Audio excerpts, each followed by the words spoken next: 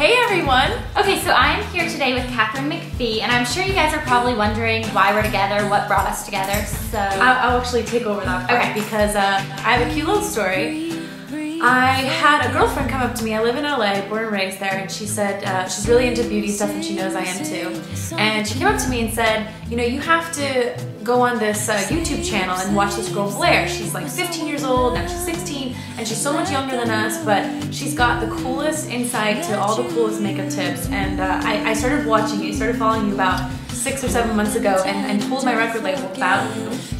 And uh, and I said, we have to watch this girl. Not only does she have incredible instincts about makeup, but she's gonna be huge on YouTube. and, and which you are, you've had amazing followers, and thanks to all the followers following Blair. And we, you're here for Fashion Week, right? yes, And I'm here. It was, we were just at the Rachael Ray show. I'm doing promo for my record.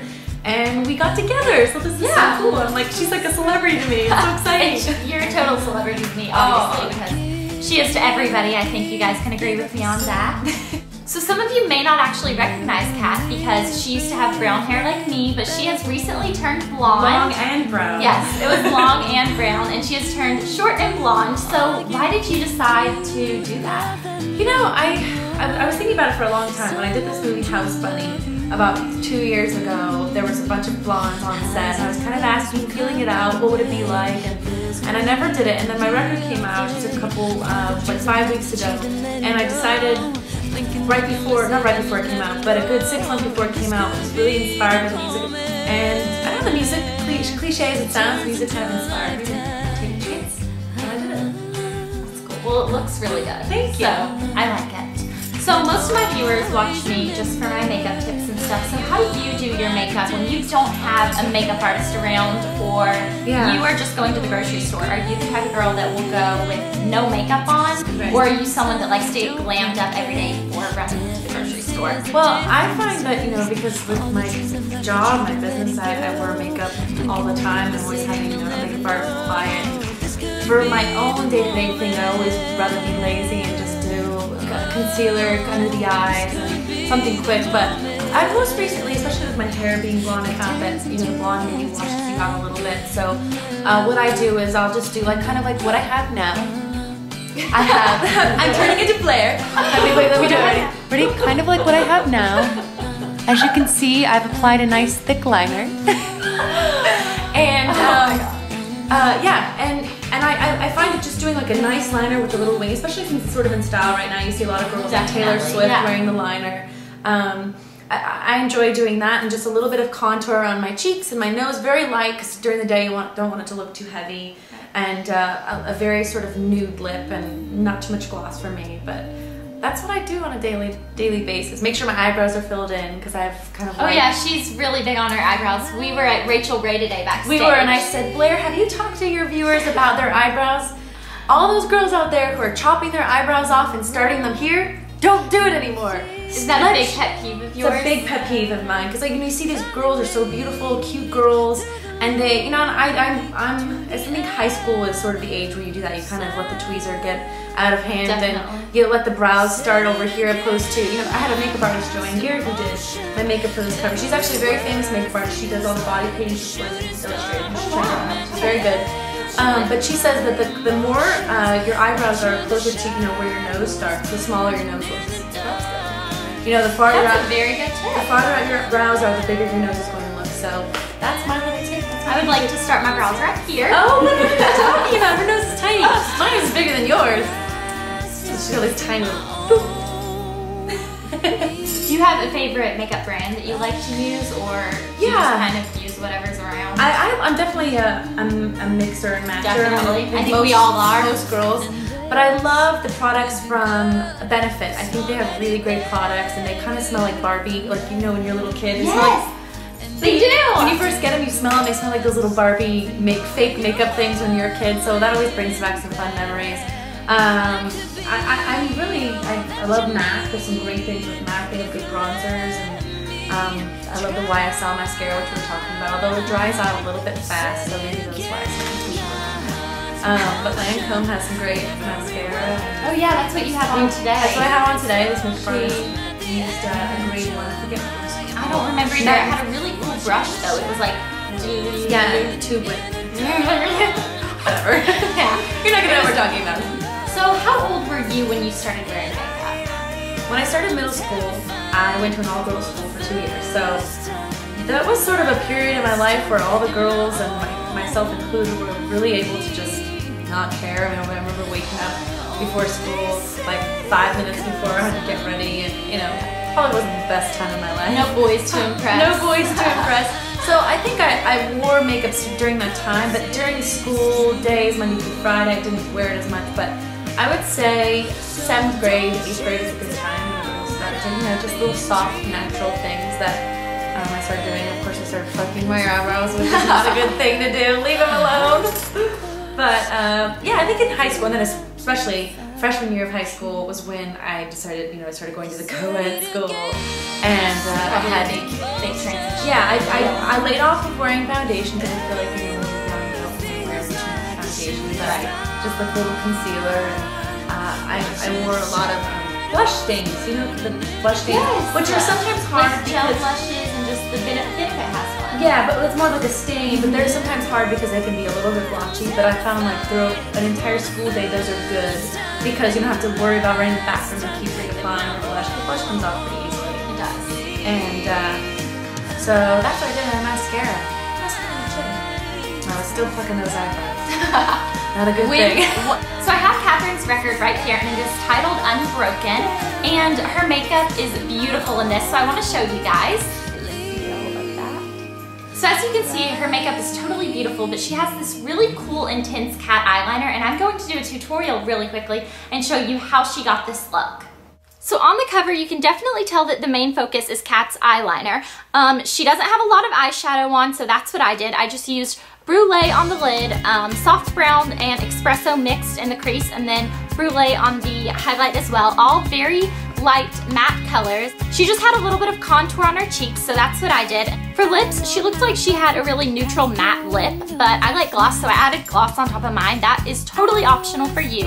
And then the eyeliner. So I'm actually going to teach you how to do Cat's Perfect Cat Eyeliner. It's really, really simple, but the main thing you need to know about winged out eyeliner is that you cannot go off of what other people's winged eyeliner looks like. So if you see that some people have winged eyeliner that goes straight out, you can't really just draw a straight out wing and then try to fill it in with your eye shape because that's not how it works. You really have to follow your natural eye shape and shape it the way you want it to be, but not go off of what someone else's is. You get what I'm saying?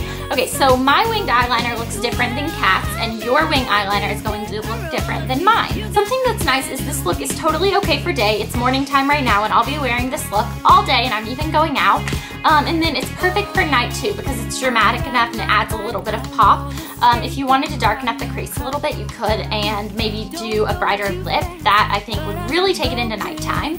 Something I love about winged eyeliner is that you can totally make it your own. Some people like to do a very, very thin winged eyeliner and some people, like Katharine, go very dramatic and very thick. So mine is kind of in the middle. I didn't go quite as thick as Katharine did just because it doesn't look as good on my eye shape. But if you want to go thicker, totally just have fun with it. You can use pencil eyeliner, gel eyeliner, or liquid eyeliner. I'm using liquid just because I think it's the easiest to shape and kind of work with. But yeah, I'm gonna go ahead and show you how I did this. Okay, so today I'm going to be using the MAC Penultimate Liquid Liner. This is a felt tip liquid liner that is slow release, so it's good if you have shaky hands because it's not all gonna come out at once. The um, actual eyeliner is in here and it comes out of this little tip. And this is what Katharine told me they actually used on her the day of the album shoot. Okay, so I'm actually going to start right in the middle of my eye and I'm going to draw a thin line going to the end. You want to start off just with a thin line following your, the natural shape of your eye so that you can kind of get everything set and then you're going to thicken it up and add the wing.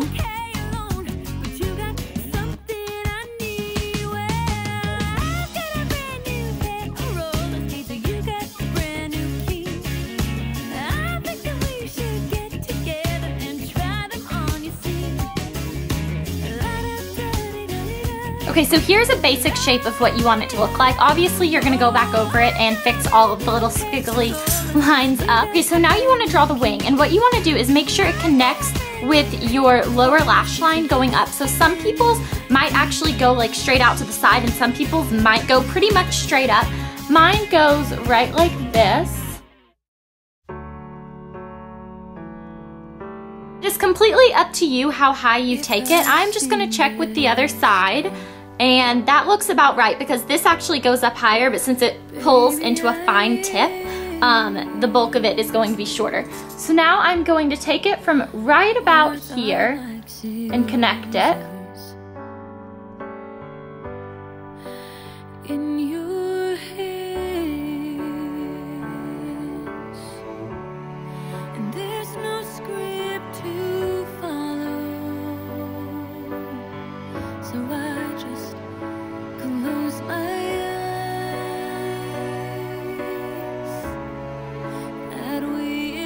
Then you want to connect this little cat wing onto the edge of the liner.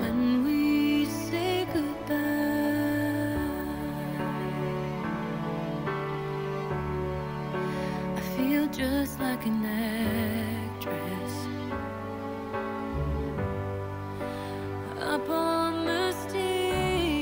Ah, my wings are totally different. Whatever. Okay, so check them out, see how equal they are. This one is actually a little bit thicker than this one and the line is straighter than this one. So I'm gonna fix this up really fast.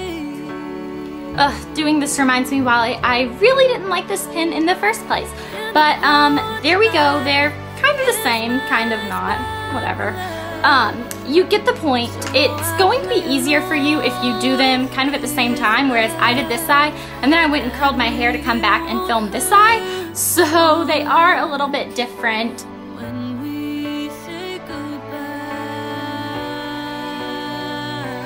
Alright, so that is how simple the eyeliner is. Now I'm going to curl my lashes. This is the NYX eyelash curler and it curls them very, very well. So if you have straight out lashes, definitely look into this eyelash curler. And I'm just gonna hold it on there for about five to six seconds and release it. Oh my gosh, it curls them like intensely. Um, for mascara, I'm using the LashBlast in Waterproof. This kind of gives me the illusion of wearing false lashes without actually having to glue on false lashes. The only thing I don't like about this is I can't wear it every day because it's really hard to get off at night. Um, so I don't wear it a lot, but when I do, it definitely makes a statement. So it looks like Katharine might have had on false lashes, but I don't really like wearing them. So I'm just going to apply a coat of this. And when you do this, you want to pull the lashes going outward um, because it's really going to exaggerate that cat eyeliner that you have. So make sure you coat all the little baby lashes and then pull them outward.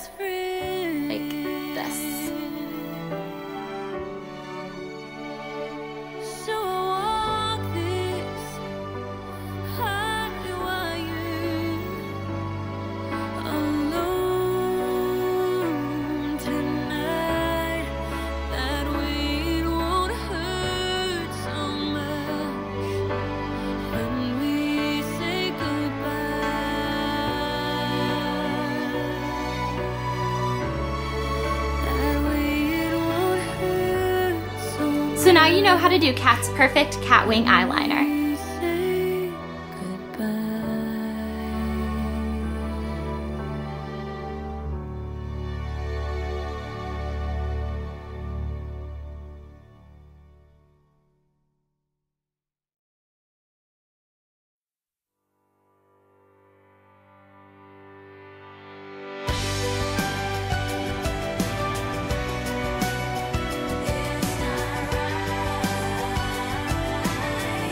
So make sure to comment below and enter the contest and we will talk to you guys later. Bye. Bye.